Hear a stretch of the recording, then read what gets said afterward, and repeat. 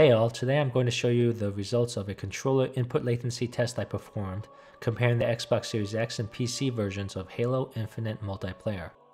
In a prior video, I compared the controller input latency on the Xbox Series X and PC for Apex Legends. Here were the results. As you can see, there's a large difference in the input lag between the Series X and PC versions of Apex, which I hope is fixed in the upcoming next-gen update. I was curious to see there was a similar difference in input lag between the PC and Xbox Series X versions of Halo.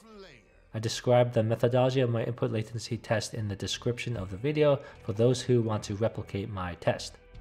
So here are the results of the test for Halo comparing the Series X to PC. Unlike with Apex Legends, the input latency of the Series X and PC versions of Halo are about the same at around 40 milliseconds. Before I started the test, I assumed the PC version would have lower latency, but this isn't the case.